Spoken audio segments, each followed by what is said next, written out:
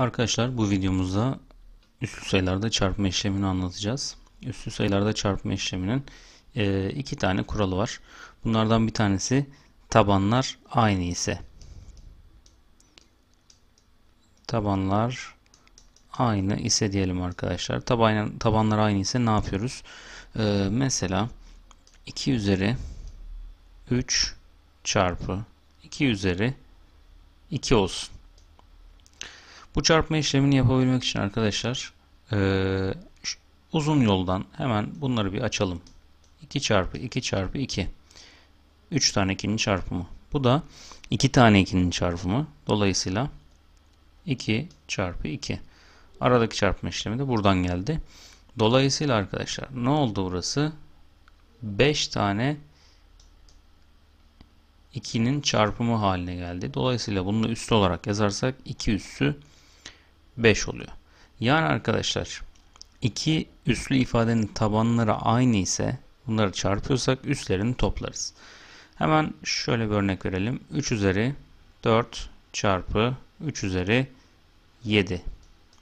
Burada yapacak olduğumuz şey hemen 3 üzeri 4 artı 7 eşittir 3 üzeri 11 arkadaşlar. Tabanlar aynıysa üslü ifadeleri çarpıyorsak üstlerini toplarız.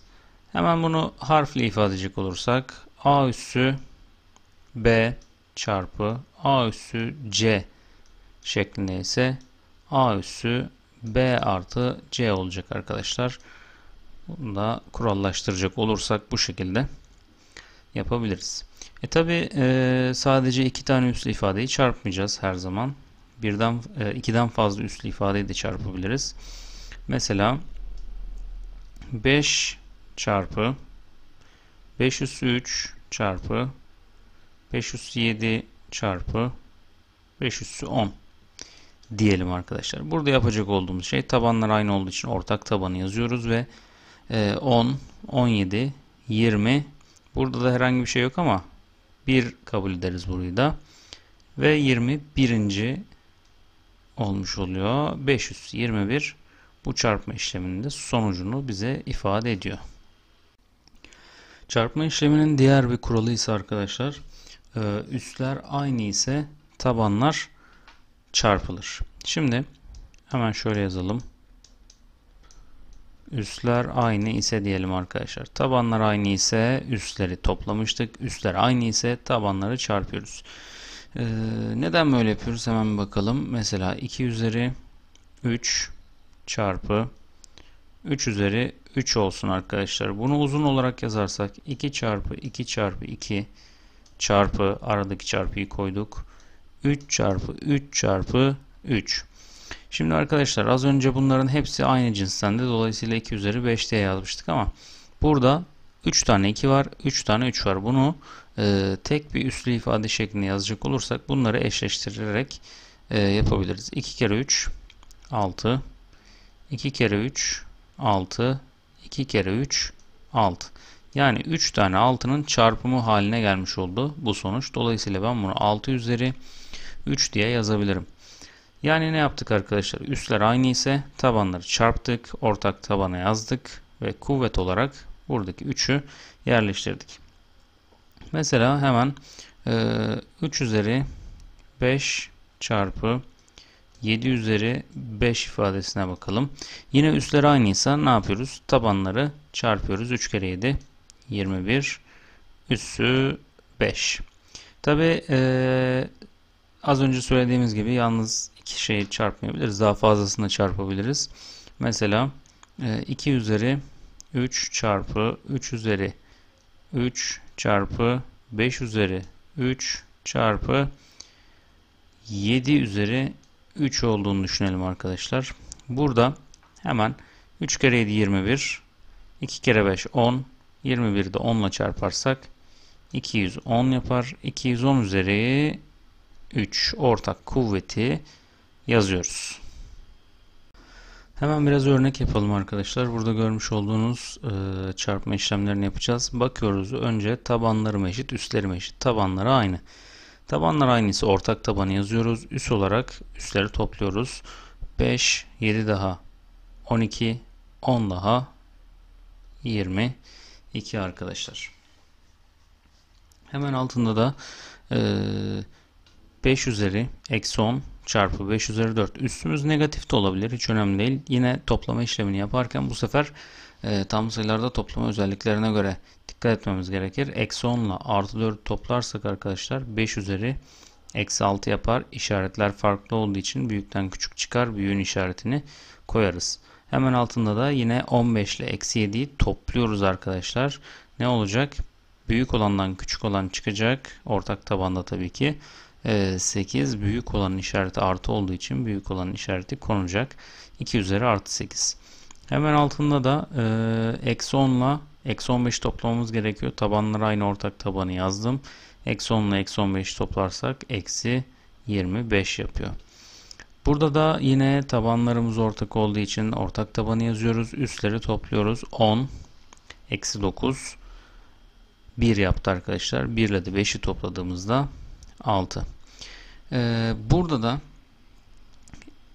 tabanda negatif işaret var arkadaşlar. Bu işin önce bir sonucunu belirlememiz lazım. Sonucu eksi mi olacak artı mı olacak? Önce bunu belirleyip sonra üstleri belirleyeceğiz. Şimdi tabanımız 10. Bu belli. İşaretimiz ne olacak peki? Burada negatif var. Çift kuvvet var ama parantez olmadığı için bu bunu etkileyemez. Dolayısıyla burası negatif.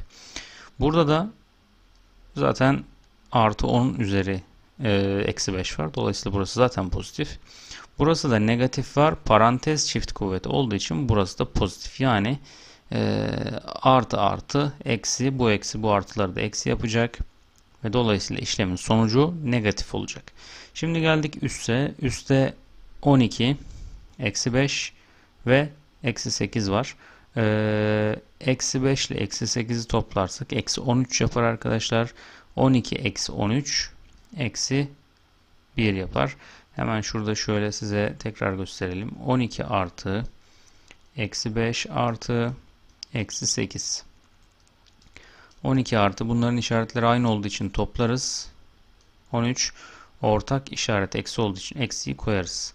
Burada da toplama işleminde işaretler farklı olduğu zaman büyükten küçük çıkarılır ve büyüğün işareti eksi olduğu için bu eksi buraya konulur. Yani eksi 10 üzeri eksi 1. Burada şunu düşünebilirsiniz. E, tabanlar aynı değil. Burası artı 10, burası eksi 10 diye düşünebilirsiniz. Ama burada e, bu şekilde bakmayacağız. E, sayı olarak 10 sa tabanlar aynı demektir. İşareti sonraki iş daha sonra bu şekilde belirliyoruz. Buraya geldiğimizde ise çarpma işleminde üstler aynı tabanlar farklı. Dolayısıyla arkadaşlar yapacağımız şey ortak üssü yazmak. Bu sefer taban olarak da 10 ile 2'yi çarpmak. 10 kere 2 20. 20 üzeri 8. Yani e, şunu şöyle yerleştirebilirsiniz aklınıza. Aynı olan neyse aynı kalır. Aynı olan üstler aynı kalır. Veya burada aynı olan tabanlar aynı kalır. Geldik buraya. Üstler aynı. Aynı kalacak. Tabanlarımızı eksi 4 ile 3'ü çarpıyoruz arkadaşlar.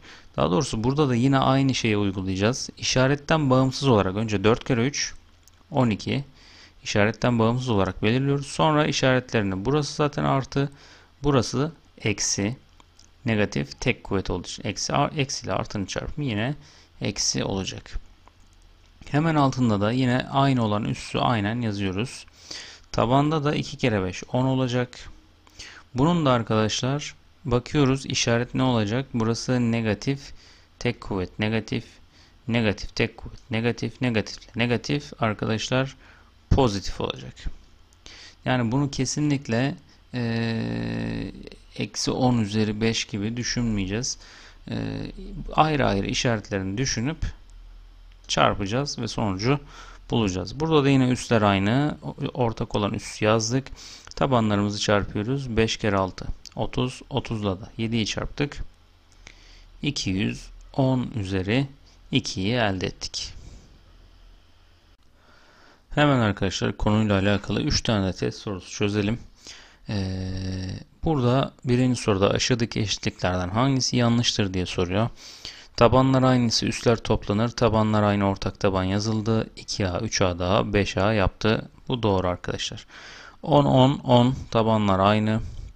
Eksi 15 ile artı 7'yi toplarsak 22 yapmaz arkadaşlar. Eksi 8 yapması gerekiyordu. Cevabımız bu ama bunları da kontrol edelim. 2 tabanlar aynı. Ortak tabanı yazarız. Üstleri toplarız. 10 eksi 10 0 yapar. 2 üzeri 0 da 1'e eşittir arkadaşlar. Yani bu da doğru. Tabanlar aynı 7 7. Eksi 10 eksi 10 topladığımızda eksi 20 yapar. Bu da doğru. Aslında bu tamamen e, tam sayılarda toplama çıkarma işlemine iyi hakim olan birisinin çok kolay yapabileceği bir soru.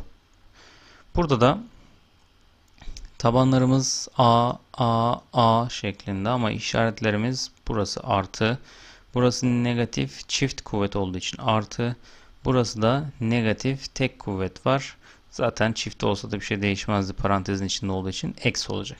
Sonuç olarak artı artı eksi işlemin sonucu eksi olacak arkadaşlar. Buradan hemen e, seçeneklerden eleme yöntemini de kullanabilirsiniz. Bazen 3 seçenek de pozitif oluyor. 3'ünü de elediğiniz zaman doğru cevap otomatikman çıkıyor. Burada da e, toplayalım. 5 eksi 4 artı 1 yapar arkadaşlar. Şurası. E, 1 ile de 3'ü toplarsak 4 yapar. Yani eksi a üzeri 4 yapacak. Cevabımız burada Adana. Burada da cevabımız Bursa'ydı. İşaretlemeyi unuttuk. E, hemen 3. soruya geçelim. Burada da e, tabanlar aynı arkadaşlar. Tabanlar aynı ortak taban yazılır. Üstler toplanır. 5 e, 5 üssü 4 artı 8 12 5 üssü 12 olacak. Bunda da doğru cevabımız.